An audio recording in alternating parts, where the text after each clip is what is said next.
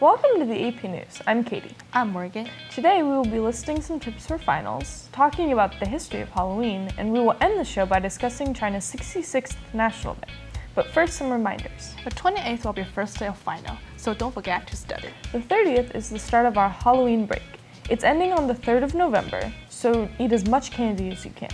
Now on final tips. First, try to take some practice tests to familiarize yourself with the real test taking. Next, try and teach classmates about the material. This way, you can reinforce your knowledge while helping other students study. Do not put all-nighters. Sleeping well will help you remain knowledge that you study during the day.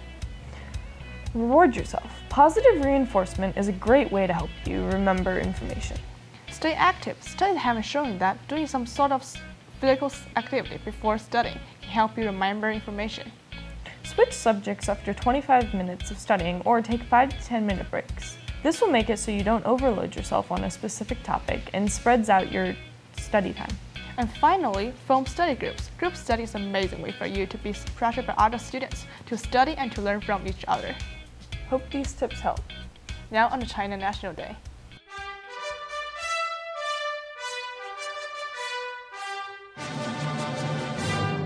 October 1st was China's 66th National Day.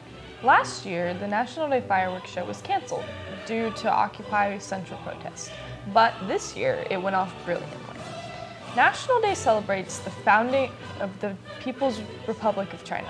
On that day, Mao Zedong raised the first communist national flag of China in the ceremony held in Tiananmen Square in Beijing. Officially, this holiday is three days in China, two days in Macau, and one day in Hong Kong. It is celebrated for seven days. On Thursday, tens of thousands of vibrant, heart-shaped, and Bauhinia patent fireworks over Science Victoria Harbor. A million dollar, 23 minutes long production include around 23,880 fireworks. The five rings of Winter Olympics were also shown in representing 2020 games that will be held in Beijing.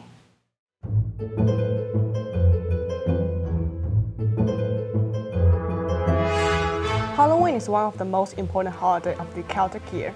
The Celts were a group of people that spoke in Celtic language. Most live in Northern Europe, around Great Britain and Germany. According to the belief of the Celts, the ghosts of the dead could easily mingle with living citizens at this time of the year. They believe at the time of the souls of men and women moved to another world. To honor the dead, they would light bonfires. Huge crowds would gather to sacrifice fruits, vegetables, and animals to aid them on their journey to the other side. They thought it was important to satisfy the dead so they could not come close to the living. The Celts would dress up in costumes in order to attempt to mimic evil spirits or appease them. That's our show for this week. Thanks for watching. Bye. Bye.